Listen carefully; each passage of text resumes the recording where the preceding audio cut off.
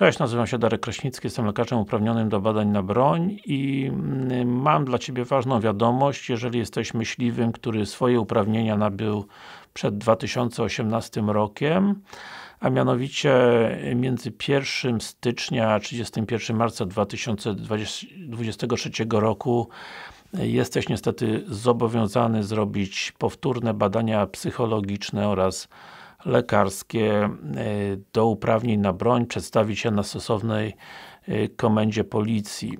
Ponieważ badania są ważne tylko 3 e, miesiące, to nie radzę Ci tego robić w 2022 roku.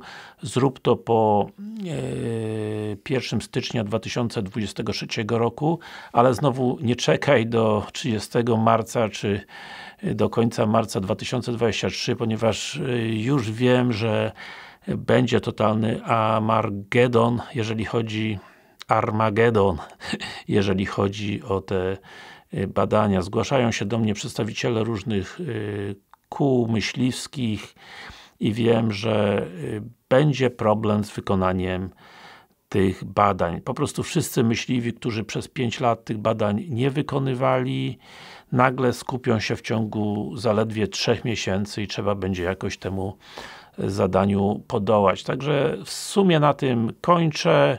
Powtarzam jeszcze raz, y, pomyśl gdzieś mniej więcej o styczniu, o lutym, ponieważ wiem, że w naturze człowieka jest czekanie aż do ostatniej chwili, a w marcu będzie właśnie ten wspomniany przeze mnie Armagedon. Także yy, mówił Darek Kraśnicki z Wrocławia lekarz uprawniony do badań y, myśliwych, uprawniony do badań na broń, właściciel y, pracowni psychologicznej, która zatrudnia też psychologa uprawnionego do badań na broń. Także trzymaj się, do następnego razu.